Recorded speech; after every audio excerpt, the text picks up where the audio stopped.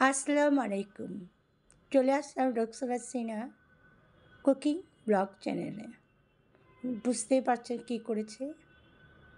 হুম, ছেলে অফিসে যাবে। রাতে আপনার কী নিয়ে যাবে অফিসে? এই জন্য বলো কি, আম্মু, আমাকে রাইস করে দাও। আমি পোলার চাল থেকে রাইসটা নিয়ে নিই। আমি এখানে দেখতেই পাচ্ছেন কড়াইতে একটু পেঁয়াজ একটু বাটার দিয়ে গাজর কুচি, পেঁয়াজ কুচি আর একটু বরবটি।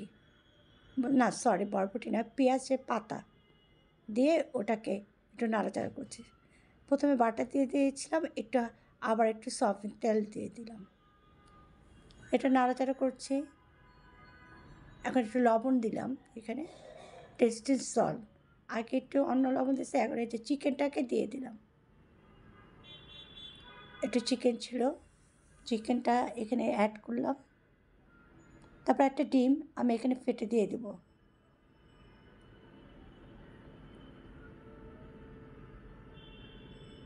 চেষ্টা করি যাতে সকালে যায়, আসে রাতে।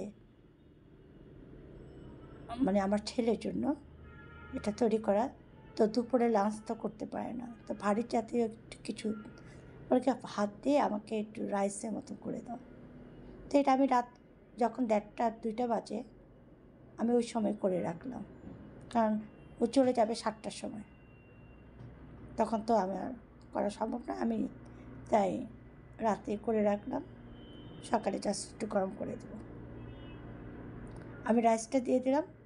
আর একটু দিলাম। তাহলে এখানে কী কী দেখতে পাচ্ছেন? ভাতটা দিলাম। এখানে তার আগে কাঁচা কুচি, পেঁয়াজের পাতা, ডিম,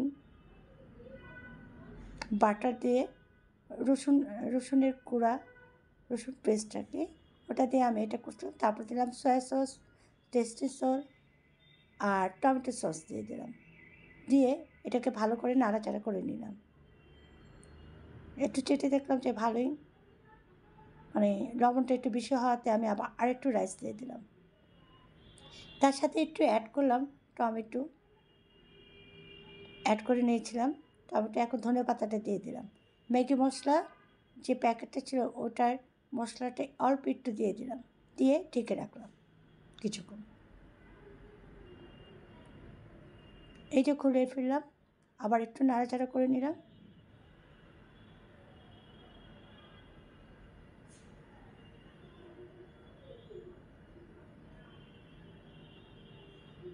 একটু সস দিয়ে দিচ্ছি। গোলমরিচে ফাঁকি দিয়ে দিলাম। এভাবে কিন্তু করে দিতে পারেন। আপনার বাচ্চাদের জন্য ধনে পাতা কুচিটা দিয়ে দিলাম। দেখতে ভালো লাগছে? তো ভিডিওটা দেখবেন লাইক কমেন্ট শেয়ার করবেন। আর সবার কাছে রিকোয়েস্ট থাকবে আপনারা কিন্তু ভিডিওতে ই করবেন। অ্যাড অ্যাড বিজ্ঞাপন যাই আসে না কেন সব কিছু দেখবেন। এইটা আমার তৈরি হয়ে গেল ফ্রাইড রাইস যদিও এটা আমি ভাতে চাল দিয়ে করেছি, তারপর আমি এটা ফ্রাইড রাইসের নাম দিলাম। আজকে এই পর্যন্ত, আল্লাহ হাফেজ।